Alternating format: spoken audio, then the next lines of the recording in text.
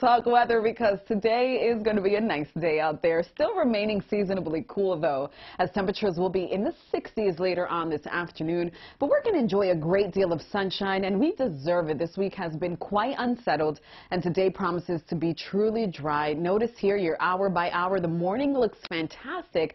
As we approach the afternoon, we're going to see some change. We're really on trend with what's been going on this week. We'll notice the clouds begin to fill in. This doesn't happen until closer to 5 p.m. today. So it is should be a very sunny, beautiful day, even spilling into the afternoon before those clouds begin to increase. And you can see future weather picking up on that nicely.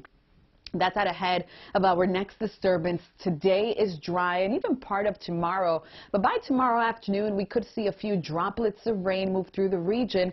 It's all associated with this particular cold front, the same one that's over Chicago right now. It does look like it falls apart as it, make its way, it makes its way closer to the region, but we're still keeping the chance for showers here, spotty at best. On Saturday, another shot as we head towards late in the day Sunday, and I know this is Mother's Day weekend, so not a complete washout. You don't have to cancel those plans, but just know that we do have showers in the forecast starting Friday, lingering through Monday before we do turn the page as we head towards Tuesday of next week. Thank you, Llarisa. Let's take a look at this morning's